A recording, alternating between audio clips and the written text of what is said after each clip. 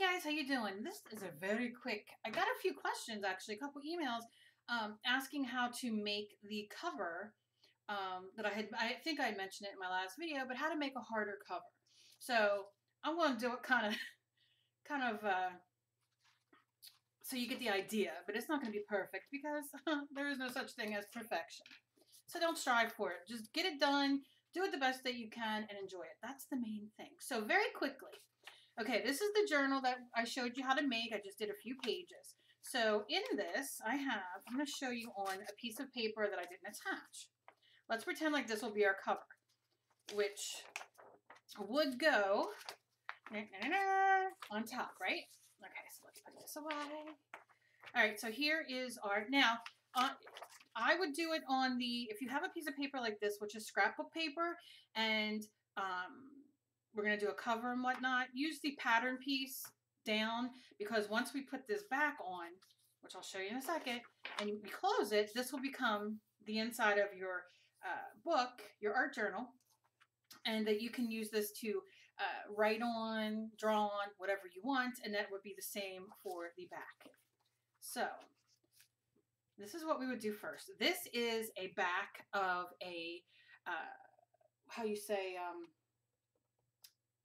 paper pad, der, paper pad. You can see that I put this off this. I think I got this at the dollar store. I am a, like a tablet freak. I love notebooks and tablets, whatever. Now, if you don't have anything, I'm a cardboard hoarder. I think I might hoard everything. I'm not real sure.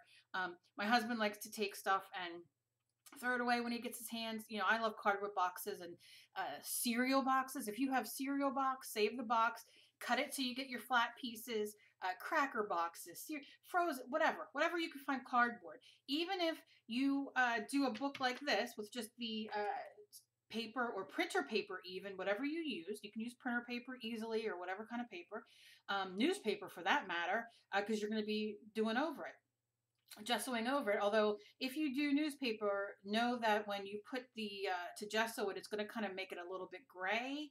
But if you put a couple coats, you'll be fine. Um, so uh, you could take your cereal box, whatever, and whatever size your paper is here. Um, so what you'll do is you'll take your cardboard and you'll, I'm lucky because this fits and that's obviously why I'm showing it. So I will glue, now you can use your Mod Podge, you can use white school glue, which is the Elmer's white glue, love it. Glue stick, um, you would probably, I, I don't have my glue stick here with me, but you probably could use a glue stick um, if you wanted to. There's nothing wrong with that. Um, but make sure you test it. If you use a glue stick and it dries and you're like, oh, it's holding great, and then you go to turn it and it comes off, you know, I would use white school glue or something. Whatever you have, gel medium, uh, Mod Podge, Collage Podge, whatever you have. White school glue from the dollar store. I do new. So this would be our first page. So we would glue that on. Okay. And then remember that this is going to be our cover, and then this is our book, and then that would be our next page, so forth and so on. And then here is our back page, which I got another piece of cardboard. And you will just glue it on the back. Okay? So all you're doing is that one piece of paper that I showed you that would just take a scrap piece of paper, use a piece of printer paper that you've already printed on that you're going to throw away. I love to be recycle, recyclable friendly, how you say. I love to recycle anything I can. Um, so use, you know, use a piece of paper. I have, I've printed out a lot of things off the internet, and for some reason, I get two pages that come out first when I print with like three words on them or a half a word. I don't even know why it does that. Um, but uh, you know, you can definitely use that as your cover as well because we're making this the main. So before I confuse you anymore. Okay. So then, like I said, here you go. You have your you have your main cover. You open it up. You can do your little writing, doodling, whatever you have in here. You have your back cover. Now, if you want to get very fancy, you would probably have to cut these down a little bit shorter. And I'll show you why. So when we open this bad boy up, I'm going to move this over a little bit, and you're going to say, I should have grabbed my damn glue stick. I don't know what the hell I was thinking. I wasn't thinking. That's the problem. I took a piece of, I just cut this cardboard that I had, which, you know, cardboard, cereal box, cracker box, whatever you have. And what you will do is take your glue, and I would do this part first if you're going to put this um, very crookedly cut, if you're going to put this binding in the uh, spine, spine, spine binding. So you'll put your glue down, and you see where you have your folded paper, you're going to make this kind of go on both sides, like in the middle. So you will glue this down, okay? Once you glue that down. And I will, um, I'll do this. I don't know why I didn't do it first because I wanted to show you guys. And then when I'm done, the next video I do, I'll show you what it looks like. Then you will put this over here and glue this on. And then this as well. So you will have, let's see if I can do magic or if I'm just crazy. Okay, nope, can't do magic. That's okay though. You know, if I would think things through, I would be, that'd be dangerous. Dangerous, I say. Okay, so remember, we're to have that much of that sticking out. Again, always do your spine first because that's where you're to know to put everything else. And I'm just to give it a little so you can kind of see where it's at. And then my other cardboard will go right there. Just like give it like a little millimeter between it, as you can see right here. So once this is done, and then you'll cut this off with your X-Acto knife, scissors, whatever you have, or you don't even have to cut it off. Let's be let's be honest. We're trying to make a nice quick art journal for us because what we really want to do is get in this art journal and journal. Uh, you know, do art and that kind of thing.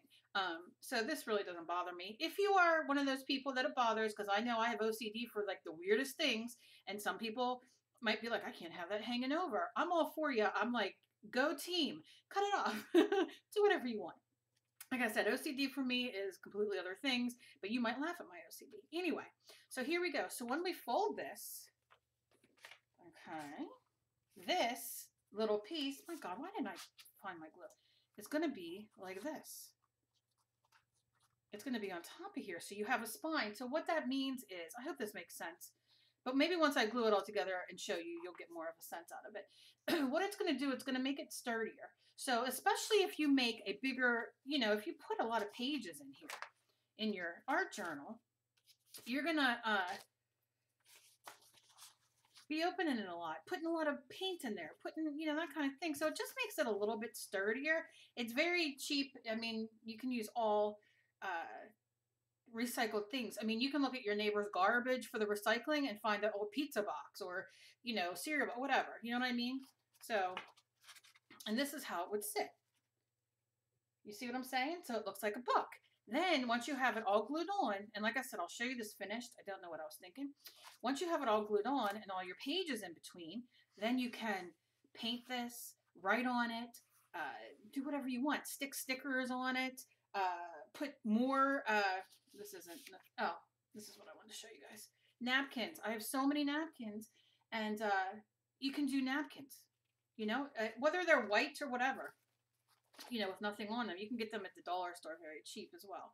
But you can just glue on some, you know, napkin to give it some beautiful color, whatever you want. It's the fun, you know, it's fun to make it your own. And then we can do our art journaling inside. And that's where we will be going next to do uh, a couple more different kinds of journals put together. Um, I've gotten the response I've gotten for these for this art journal video I did yesterday, I, it makes me want to pee my pants with excitement. Okay, um, I know that's not a really great vision, but it I, I couldn't believe I opened up my email today, which wasn't even my YouTube comments, which that those blew my mind. All the comments you guys have been leaving me, it's so beautiful. But uh, I opened up my email and I'm like, holy moly, the people uh, who were so were thanking me for doing this, and I'm I, honestly, you know, uh, th- this is probably all over. I'm sure everybody's probably made uh, art journals and everything like that. Um, I've done art journals forever on live shows in my in my uh, station, my YouTube channel rather. But um, I know I have I have a lot of people, like I said the other day, uh, newbies that uh, you know new people who are new to art journaling or even art in general, and a lot of uh, young adults who I'm blown away at. Um, who don't have a lot of money. And a lot of people are, like I said, are on SSI or SSD and, you know, money's tight. And you should be able to art and do whatever you want, craft, art, whatever you want in a way that is inexpensive and using recycling in it. And um, we're just going to go through and I'm just going to show you what I do. Um, I think it'll be fun. I think it'll be great for the new year. And I think that uh, it'll help a lot of people like I said, and it's just basic, you know, art journaling and, and constructing it where you feel like, you know what, and you don't have to do the cardboard. That's just something extra. You can just do like we did here. Um, but uh, the point is, is doing it and uh, feeling good when you do your art page and, you know, all that kind of stuff. Mixed media. I love to do mixed media in my art journal. I do all kinds of things. Um, and it's a lot of fun. So I hope this helped you guys because a lot of people were asking how to make a cover. I think I mentioned it in my other um, last video, so I wanted to do it and show you guys. And it's so simple. And like I said, if you're using a cereal box, just put that on there and cut it. Cereal boxes are easy cut, cracker boxes, whatever. Um, and cut it to the size that you want. And then if you want to, you don't even have to put this on, but uh, you know, this goes on like this and you're good to go. You're so good to go. Um, and I am just so thrilled to be doing these uh, art journals. We're going to have, I'm going to do my next video, I think, with my art for art journals. We're going to do the paper bag ones with the pockets. I know I've gotten probably, uh, oh gosh, a few dozen requests, like people saying how much they want to do the paper bag ones because people love to save things in their journals and if they go to the movies or like I said before. So I'm done blabbing. I hope you all have a fantastic New Year's Eve. Please be safe. Please don't drink and drive. Uh, if you're staying home, uh, I hope you have a, a wonderful, peaceful holiday. Um, and uh, we're gonna dust that off. Put that, rinse that off. And as always, I love you all so much. I'm so very blessed and thankful. And be kind to each other because you never know about somebody else's fight, man. I wish you all a very, very, very happy new year. I hope we all rock it in the new year and we all have many, many blessings. And I will see you guys later. Thanks, guys. Bye.